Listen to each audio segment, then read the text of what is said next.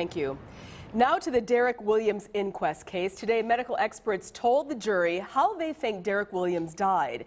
You'll recall Williams had trouble breathing in the back of a Milwaukee police squad car back in 2011 and died a short time later. Now, this inquest jury must decide what caused Williams' death, and if anyone is at fault, they will make a recommendation. It is an advisory one at that. Fox 6's Myra Sanchick is live at the Milwaukee County Courthouse with the latest.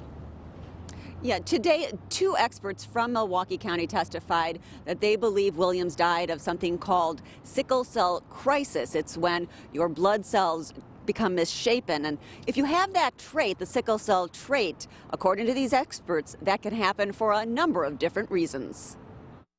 What caused Derek Williams to go into what's called a sickle cell crisis, leading to his death July 2011? Experts testified an autopsy showed Williams died because his blood cells became sickle shaped and would not carry oxygen through his body. Williams had the sickle cell trait. The Milwaukee County Medical Examiner testified stress and lack of oxygen can contribute to the crisis. Williams was chased by police and struggled with one that night.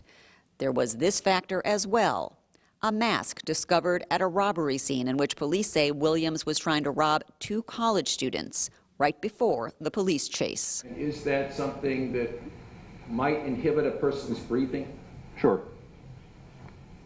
You have any opinion as to whether that was a factor in causing a sickle cell crisis?